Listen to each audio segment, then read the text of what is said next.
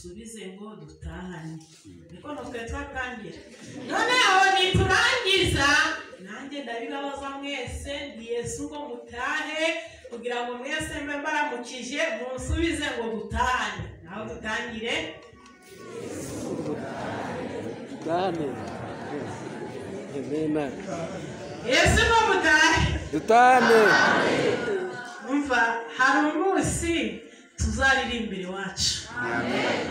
Kandi kubwiriza no guhanura bizashyiraho ariko kuririmba bizahoraho iteka ryose reka nshimire imana yacu yatugiriye neza ikemera ko nza kuganira namwe imana yacu yabishubahiro mu gitondo rero nabibwiye ariko hariho n'abakerewe izina ryanjye ni nyirakabyiruke jacqueline ni umumama ufite umwana umwe. Umwana ufite imyaka itandatu yiga mu wa kabiri. Pirimeri ubwo ni pitu ku bantu bazi indimi. Noneho rero njyewe n'umugabo wanje uwo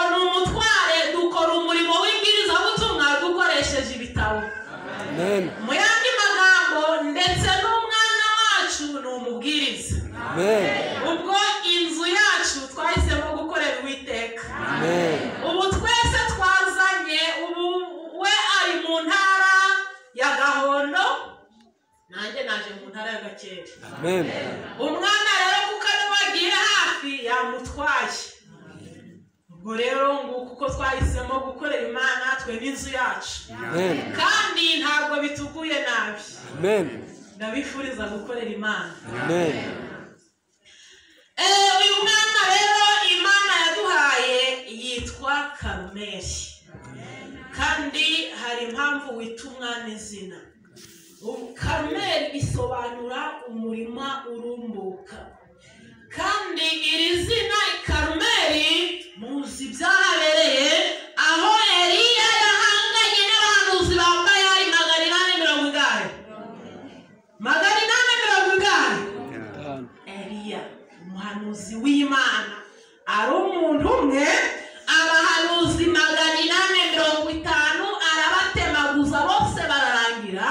Izina ry'imana amen. Turifuza ko yazarwanirira imana kandi agatsinda niyo mpamvu twamwise izina karumeri amen. Abadivantize b'umunsi wa karindwi rero nuza gusoma igitabo cy'uburezi urasanga barabahaye amabwiriza yo kwita umwana izina afite ubusobanuro. Utazagira ngo ni ugupfa kwita umwana izina oya kuko turi abadivantize b'umunsi wa kangahe umupagani we nta n'icyo ibyo bimubwiye ariko hari icyo nshaka kukubwira. Icyo nshaka kukubwira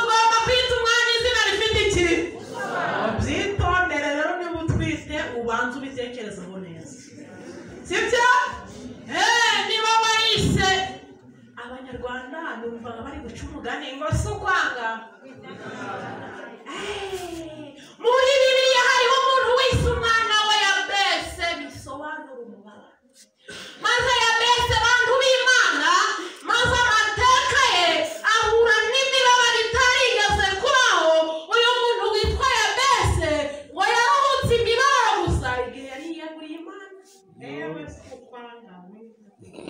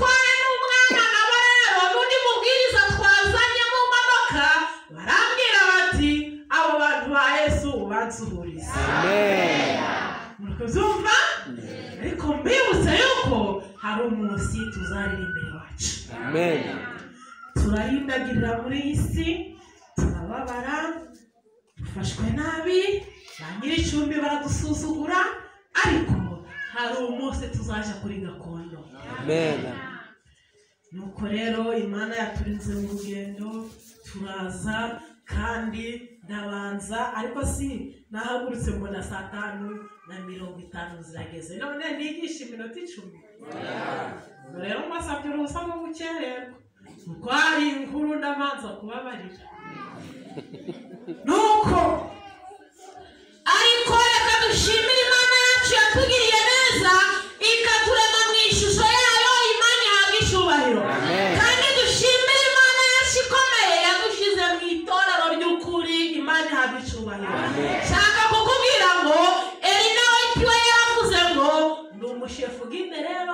ni umudirakonikazi nyobora indirimbo za magana abiri nubona ntari hamwe ntibigutangaze kuko ndashoboye. Nuko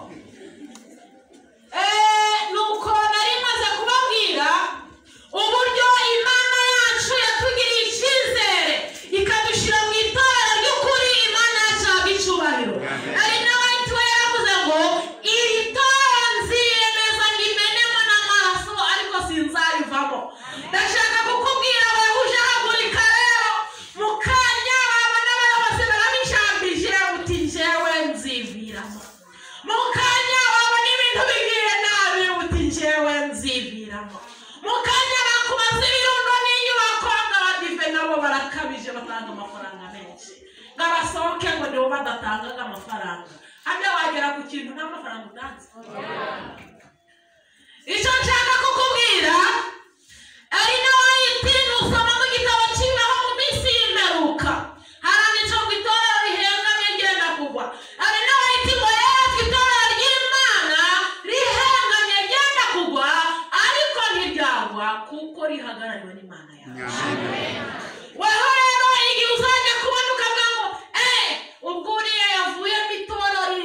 oya uribesha yesu kirisito ngo aragendagenda hagati y'ibitereko by'amatabaza aho ni hagati y'amatorero arindwi. Umwami wacu ntabwo ahwema na gatoya kurigendagendamo hagati. Niyo mpamvu uzajya kubona ukabona rigeze aho ryarindimuka ariko ntiriwe kuko kirisito riri hamwe Amen. nuko ukumva abantu bari kuvuga ngo ariko ibi bakoze ni ibiki iri kumbwira ngo muri icyo gitabo ibidatunganye mu itorero ry'imana kirisito azabitunganya reka nkubaze ikibazo. Kuvukana n'abavandimwe bawe mukaba muhuriye kwa siko sibyo umuvandimwe wawe ukugwa mu ntege nimugire icyo mupfa. Uzavuga ngo ntuzasubira kwa data. Twagize icyo dupfa uzavuga ngo ntuzasubira kwa data ndashaka kubwira abo a- abakomeretsanya na bagenzi babo baturanye akavuga ngo sinzasubira gusengana nawe uribeshya. Uribeshya kuko reka kubishyiwe uze kwa data mu nzu yanjye. Uribeshya nyine ubu si uri kugira ngo uramuhimye. Za mu nzu ya data. Ndababwiye ngo ntabwo uzareka ku- kujya kwa siko kubera utumvikana nande? Ahubwo kwa siko uzagira ute? Kuba nawe rero utumvikana n'uwo mwasengana ibyo ntuzigere ubwo ngo nzasubira mu rusengero. Ngwino kwa yesu ateze ibiganza kugira ngo akwakire ndashaka kubabwira uburyo yesu yadutanze hirya agaciro bikomeye cyane. Yesu yadutanze hirya agaciro bikomeye cyane. Nusoma mu gitabo cy'inama ikomeye y'imana baranditse ngo igihe umuntu yari amaze gucumura maze abamarayika bitegereje yesu babona yesu ahonze mu maso. Babona mu maso mu gushakisha babona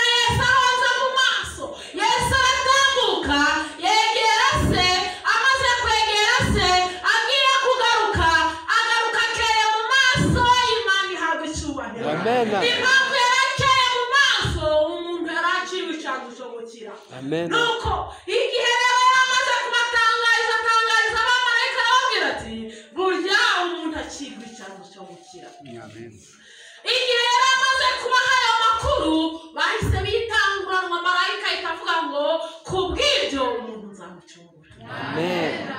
Ngo amen asuze ngo byashoboka ko ikiremwa gicungura ikindi kiremwa oya yesu yaramubwiye ngo ntabwo byashoboka ikiremwa ntabwo cyacungura ikindi Kiremwa. ariko nyine yesu kirisita aravuga ngo umuntu nzamucungura marayika aravuga ngo umuntu nzamurinda mwuka wera aravuga ngo umuntu nzamuyobora Amen. umuntu ararinzwe shaka ko wiyumva mu gaciro gakomeye cyane hari igihe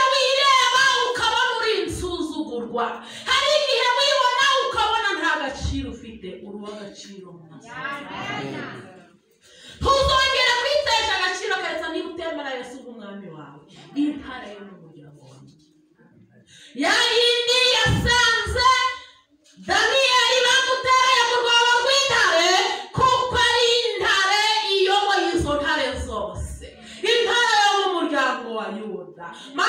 maze ikazitegeka ahubwo mu musegura urasinzire neza.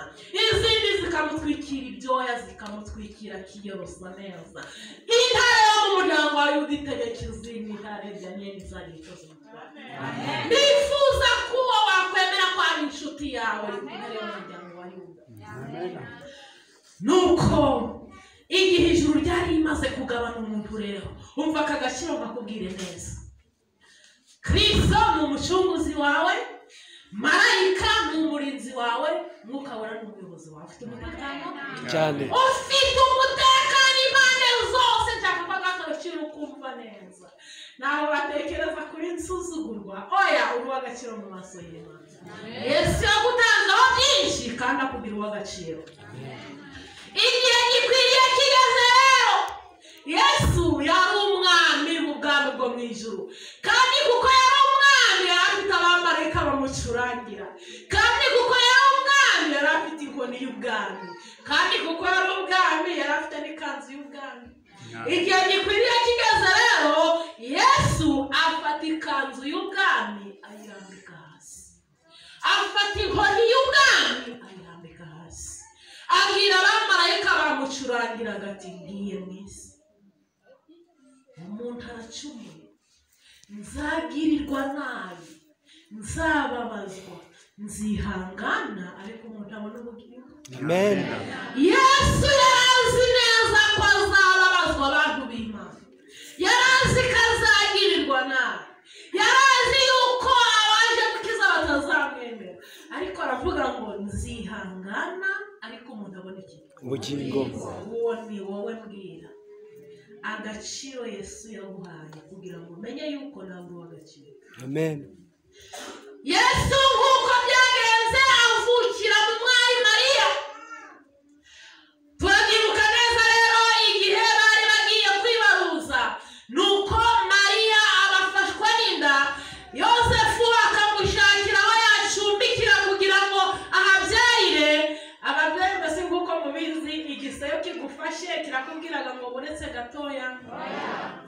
iyo kigufashe kiba cyagufashe igihe yosefu yashakishaga aho umugore we arabyarira nuko akaja kwa runaka mbese ntimwampa aho umubyeyi wanjye yabyarira ntaho nta mwanya we agakatira n'ahandi mbese ntimwampa icumbi umubyeyi wanjye akabyarira mugafashwa n'ibise bati nta mwanya uhari nta mwanya yari azi ko bazamwanga bamwanze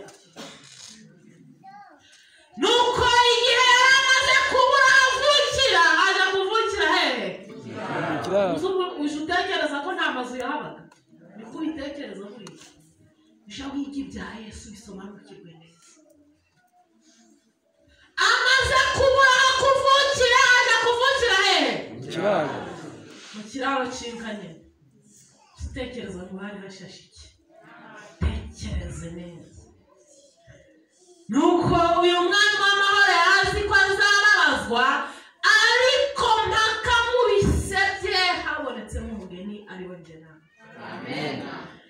nuko igihe gikwiriye rero ndabyibuka yasakura nk'abandi bana nuko twageze igihe semani yesu kuko yari azi umubabaro w'indengakamere ugiye kumuba ukomeye cyane nuko yitabaza abigishwa be batatu yari yifuza ko nawe bamusengera wenda agakomera. Nuko inyandiko iri kumbwira ngo igihe yarageze muri ako gashyamba we yigira imbere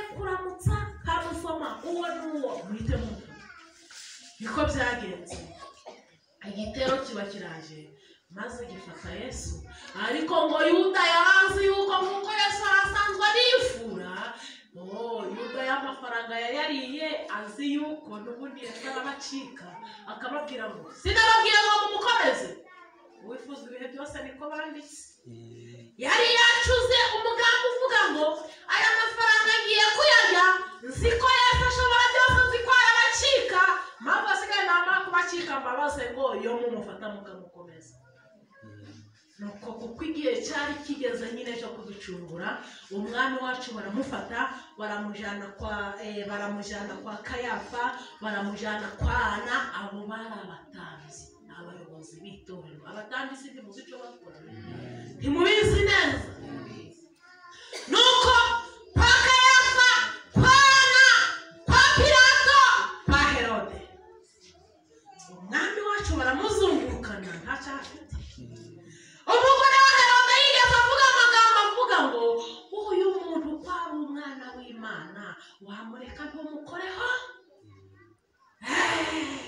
arimo urupfu ntiyumva irobido niyo yigeze kubyumva hari umugore wabimubwiye ni uko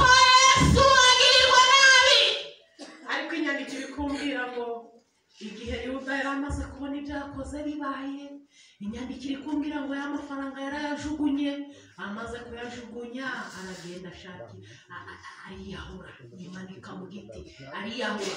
Abantu bajyanye yesu i karuvari bamunyuzeho intumbire yasandari amafaranga yageze utera? Wumve neza kugira ngo nitugere ku byawe wumve neza. Amafaranga yageze utera yayajugunye asanga intumbi yasandariye mu nzira. Imbwa ari zo zigomba kuyirya. Barakomeza yesu ndamwibuka kuko yamanuka kurya yikoreye igiti kiremereye cyane. Yikubise hasi inshuro eshatu. Uruhande rwa yesu rwari rwatandukanye. Rwari rwatandukanye. Maze kugira ngo barufatanye barufatanisha mu ikamba ry'ikintu. umushubi gumwe gufata aha ubundi gufata aha byongera bigira utera yesu yakubabarirwe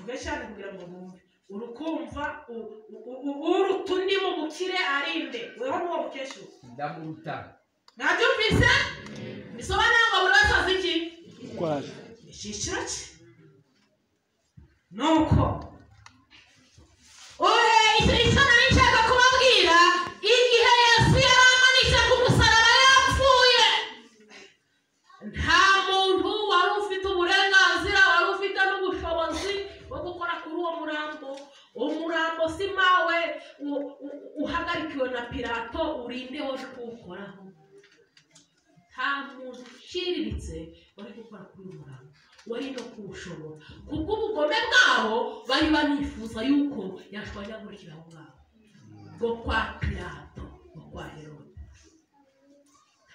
Nari nshaka kubabwira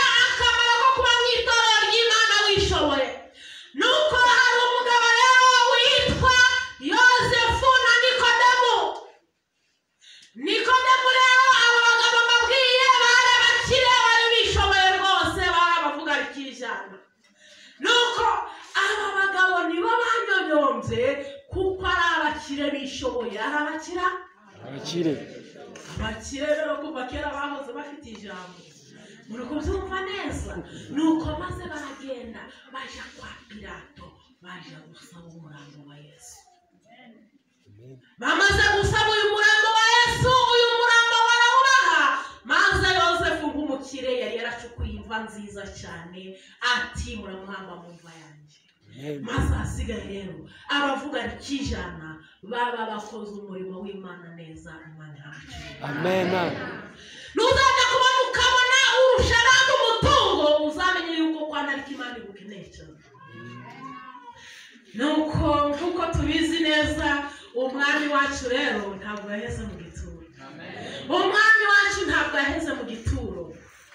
Umwami wacu nyuma y'iminsi itatu yarazutse yewe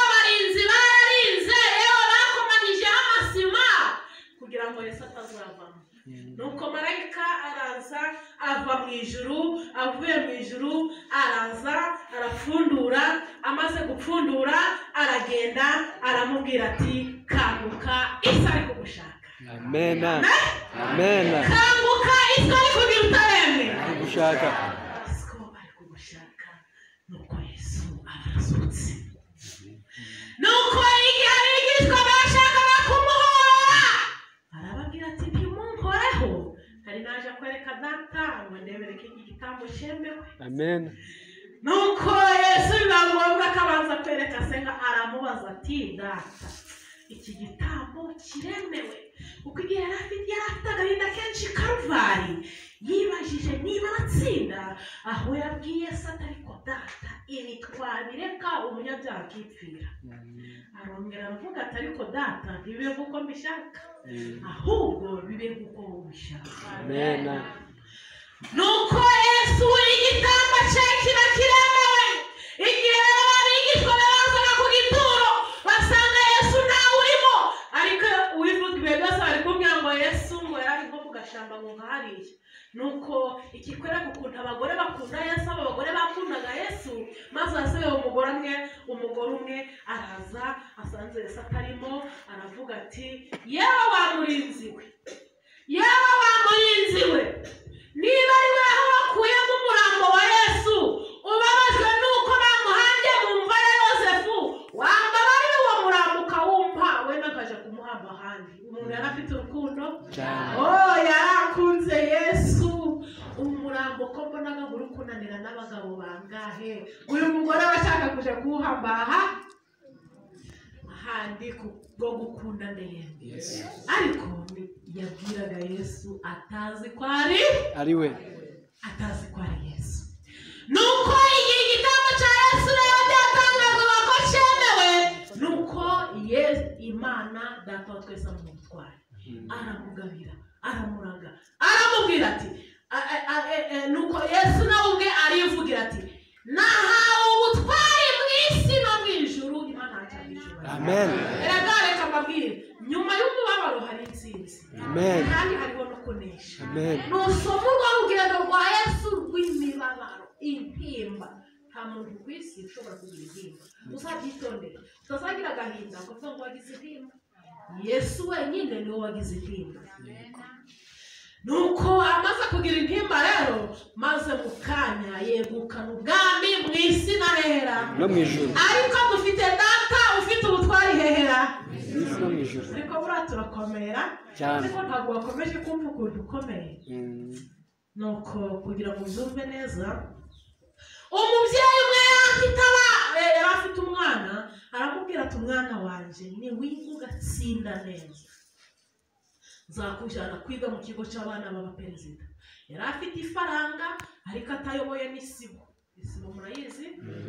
Atayoboye n'isibo ariko afite iki? Ifaranga. Afite ifaranga. Umwana aratsinda. Amaze gutsinda isa amujyana mu kigo cy'abana b'abaperezida. Ariga rwose. Kuko tubizi rero umwana ye abana bageze mu bigo nyine ku ishuri bakora perezantasiyo ni ukwivuga waturutse he? Ibintu nk'ibyo ngibyo. Ubwo iyo gahunda ibaho buri mwana akavuga izina rye nitwa runaka nuko naturutse muri iki gihugu kandi data ni perezida w'iki gihugu. Kandi wa wundi ntabwo yari ayoboye n'ikiraro N'isibo. yari na mudugudu ubyumve neza. Ahasigaye rero abana baba baratangiye kwivuga. Nitwa mariko data ni perezida wa amerika. Nanjye nitwa ruka data ni perezida w'u rwanda. Nanjye nitwa matayo data ni perezida wa tanzania. Nanjye nitwa laki data ni w'ubwongereza wa mwana muri kumureba Mm. buriya muri kumutekereza ahora? Kandi se ntabwo ari iki? Se yari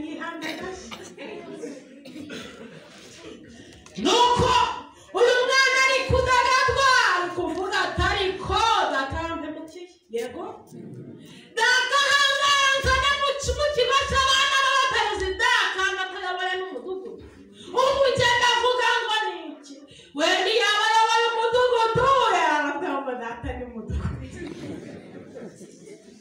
nuko barazengurutse rero baturutse inyuma baraza we no ku no ku uyu mwana yicaye nk'ahantu si imana nakuye yewe mizere isiko atayoboye n'isibo nuko uyu mwana aratekereza arongera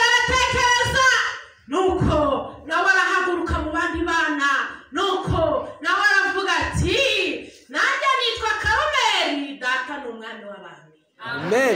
Amen. Amen. Oh, dufite data umwami w'iki Abami. Amen. data umwami w'abami tugiye kwiga amagambo ari kutubwira ngo bara imigisha wahawe ngo bari iki bara imigisha wahawe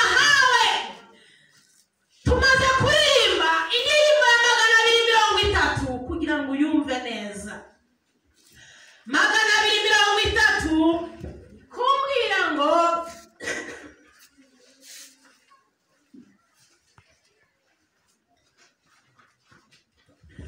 iri kumbwira ngo nubwo waterwa n'amakuba ngo agarikira Menshi. shaka kureba ama- amezi ane asigaye inyuma yacu abatewe n'amakuba mushyire hejuru turebe abatewe n'amakuba bambwira amakuba watewe na yo abatewe n'iki reka dukomeze mu nyandiko. Aya makuba maze akagutera kwiheba cyane. Maze akagutera kwiheba bingana iki? Ariko nubwo aguteye kwiheba cyane bakavuga hepfo mu kintu ibuka. Gira utera Ibuka. imigisha yose ibyo biragutangaza Amen. nubwo waterwa n'amakuba menshi kandi bikagutera kwiheba cyane. Ibu? Ibuka. Wagira si ko kuba watewe n'amakuba? Biguhaye uburenganzira bwo kudakorera imana. Ibuka imigisha wagize ute?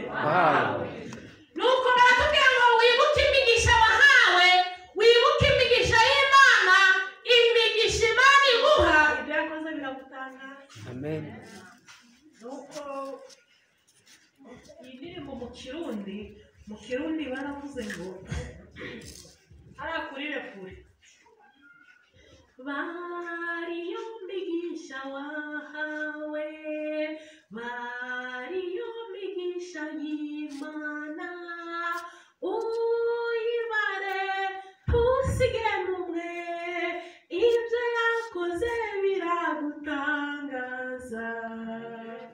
uyibare ntusige n'umwe. Ntusige n'umugisha n'umwe. Noneho nituza mu cyongereza interuro iri hepfo y'iy'ikinyarwanda iy'ikinyarwanda ikutubwira ngo wibuke imigisha wahawe. Mu cyongereza batubwiye ngo count your blessing. Count your blessing. Ku bahagaze mu ishuri ni ngo iki kubara. Ni ngo iki yes. Ariyo mugisha bara. Wagira utera bara. None si ka buriya aho waturukiye mu rugo? Buriya hari umugisha wabonye? Se atubwire habwiye we mu rugendo rwe nta mugisha yagize ute? Ngaho ka wowe w'icyatsi turi kurebana. Nta migoya. Uyu uri kureba inyuma niyo ndi kubaza hari imigisha kuva mu rugo kuva mu gitondo. Wa- wabonye nk'urugero. Kuba n'isaha gihagaze wari umugisha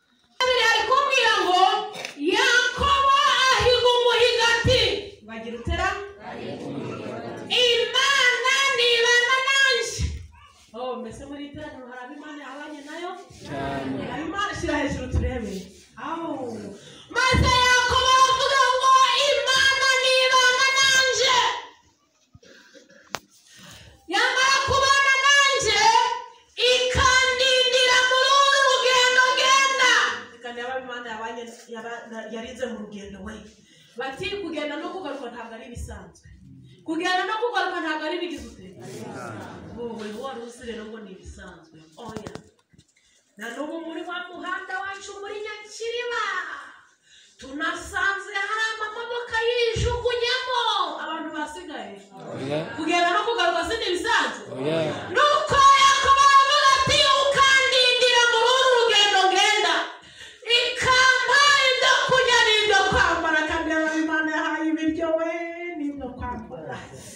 imana yahaye ibiryo we murimo n'ibyo kwambara murimo murasobanutse.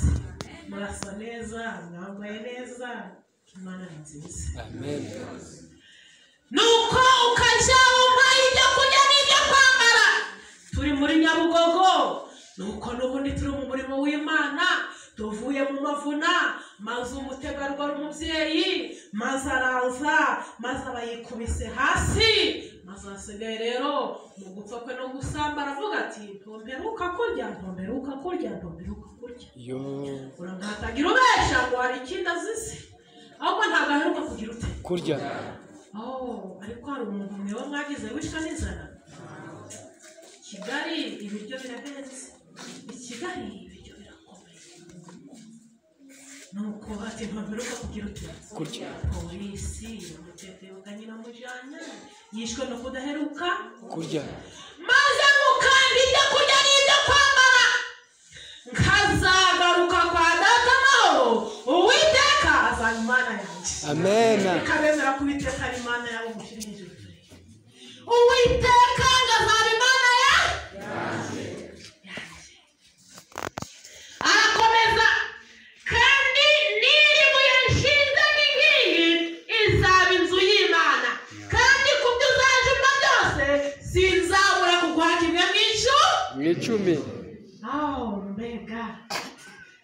nuko imana ukuntu ari nziza imaze kuduha ka gaciro maze kubasomera imaze kutubwira yuko afite ubutwari mu isi no mu ijuru kandi akaba ari data wa twese maze mu rwandiko rwa timoteyo imaze kutugira abantu bakomeye nka gutyo maze kubabwira maze irangije ku murongo wa cumi na kabiri mu rwandiko pawulo yandikiye timoteyo rwa mbere urwandiko rwa mbere pawulo yandikiye timoteyo mu gice cya mbere ni ku murongo wa cumi na kabiri imaze kutugira ab'agaciro. Imaze kutugira abikira imaze kutugarira ab'agaciro. Umva icyakurikiyeho. Icyakurikiyeho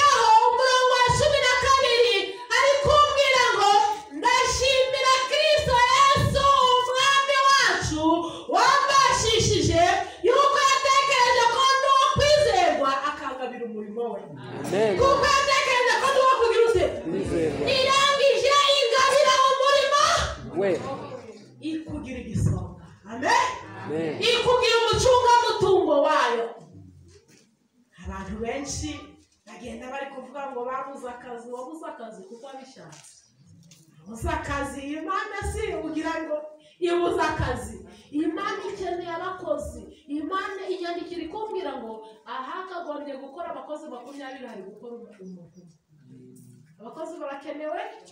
Imana ifite akazi. Nuko maze ahasiga rero ndashimira kristo yesu wambashishije yuko yatekereje ko ndi uwo kwizerwa ikangabira iki? Naho rero tekereza neza. Ariko ntusinzire kuko naje nasenze. Amasengesho y'urwiherero nsengera n'itorero ryanyu. Amen. Nuko imana mbere y'uko iguha umurimo ibanza kukugirira iki? Icyizere. Ibanza kukugirira icyizere. Ariko buriya iyo uyihemukiye uba uyigiriye neza kandi yabanje kukugurira iki? Imaze kukugirira icyizere igushinga umurimo. Ikugira igisonga iti uri umucungamutungo wanjye turi ibisonga by'uwiteka. Kandi inyandiko ikubwira muri yo ngo navuye mu nda ya mama mfite amafaranga. Oya. Nambaye ubusa. Nambaye iki? Ubusa. Kandi nzasubira mu nda y'isi ntacyo? Tumaze kuvuka rero nta kintu dufite. Imana iratugabira yego? Yego. Rwose yego mwa bakecuru hariho uturima imana yabahaye. Ibaha n'urutoki. Wewe. Ariko irabigucungisha. Igira ute? Ariko yakugirira iki? Ngo nugurisha urutoke rw'igihumbi ushire mu sanu w'imana ngahe ijana irabigucungisha witonde inyandiko ikubwira ngo niba ushaka kugubwa neza niba ushaka tandukanya umutungo wawe n'uw'imana. Aya magambo ari kumvikana. Niba ushaka kugubwa neza tandukanya umutungo wawe n'uw'iki?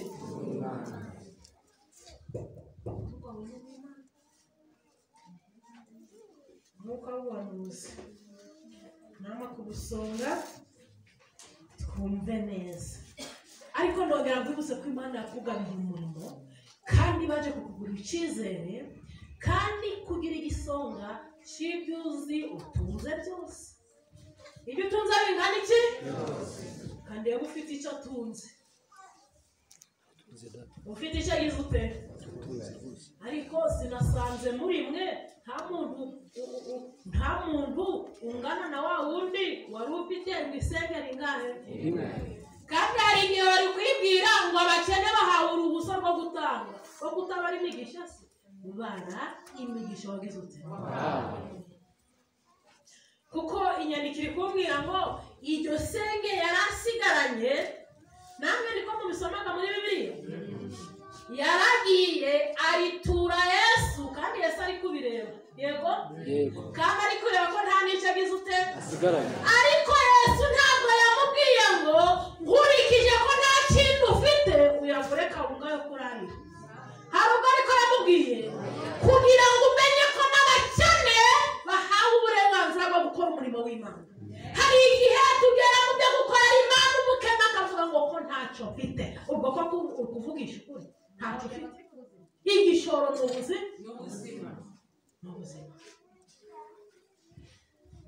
Twumve uko umwuka w'abantu uri kutubwira ni mu gitabo cy'inama ku busonga turaza gusoma ku ipaje mirongo inani na gatanu ngiye kubasomera ari kuvuga ngo vuba aha imana yampaye ibihamya byihariye ngomba gutanga ku byerekeranye n'imiburo n'amasezerano yatanze ibinyujije mu muhanuzi wayo maraki. Kandi maraki ibyo yavuze mubizi neza.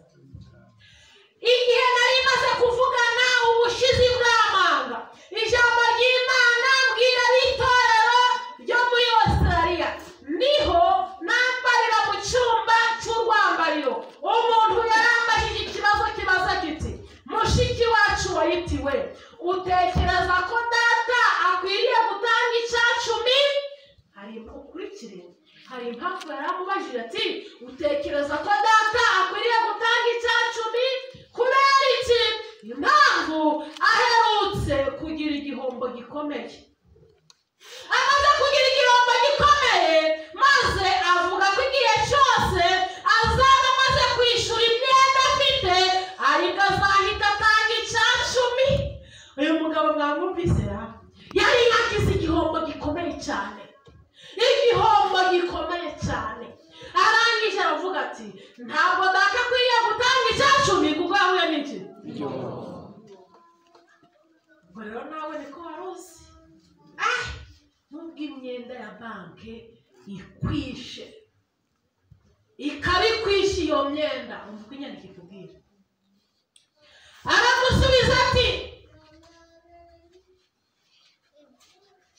naramubajije nti utekereza iki ku byo tugomba gukorera imana yaduhaye ubuzima. Imana yaduhaye iki? Nababwiye ngo igishoro ni iki? Imana yaduhaye ubuzima. N'umwuka duhumeka. Iyo ni imigisha? N'imigisha yose itunezeza. Iyi nteruro niyo nshaka ko ushaka arongo mu mutima wawe n'imigisha yose igira tunezeza nshaka kubikubwira neza. Ariko abari muri gereza bari kwinjiza imitungo? Bari kwinjiza? N'imigisha yose igira ute? Mu migisha ubara ubare ko utari muri gereza kuri kwinjiza umutungo n'imigisha yose igira ute? Tambuka gatoya rero kuko ubwo mu- bibwirwa utarahigereye. Utigereye ku nkuru rero ntabwo ubyumva neza. Nababwiye ngo ndababarira inkuru rero ntimumbwire ngo natinze. Uratambuka gatoya rero aho ngaho ni hariya. Mahoko manura wenda aho ngarukiye ni kuri mfunda ndi kurebesha amaso yanjye Ai, amazu akomeye we. Amazu agize ute? Bambe ni impera ku rusengero rwa kanyafurwe. Ah, impunzi ziruzuye. Sinzi niba basenga. Impunzi zigize ute? Kandi zari ye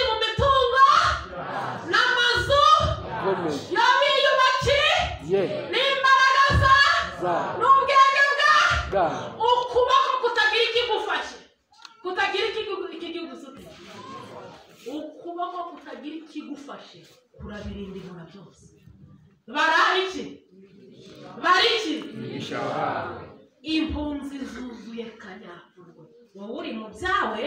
Wowe uri mu ki? No mu nzu yawe. Bara imigisha wagize ute dore amazu akomeye we eh eh eh. Ariko reka nze nkubwire imana irakomeye uje urubaha uwiteka ibindi byose hasi ubu si watekereza ute ikintangaje mu ruhande rwo haruguru watekereza ute ukuntu usereye? Hejuru igasimbuka umuhanda ikajya gusenya iturutse haruguru. Wabitekereza ute?